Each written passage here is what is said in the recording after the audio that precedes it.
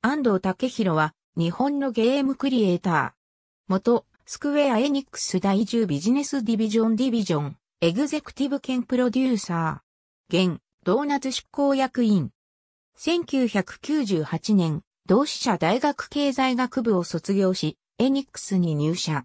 バカゲー路線のゲーム制作に携わり、作品によってはシナリオ等も担当する。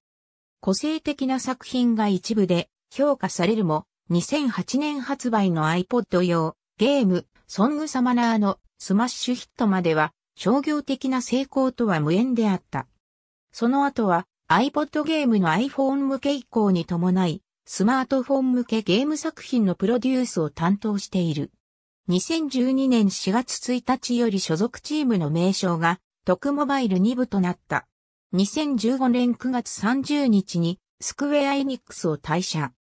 有給休暇消化期間となった同年6月よりゲーム DJ としての活動も始める。2019年1月10日にドーナツの社外取締役に就任。2019年12月9日からドーナツの執行役員兼ゲーム事業部長に就任。柴高正とは中学、高校、大学と同級生。ありがとうございます。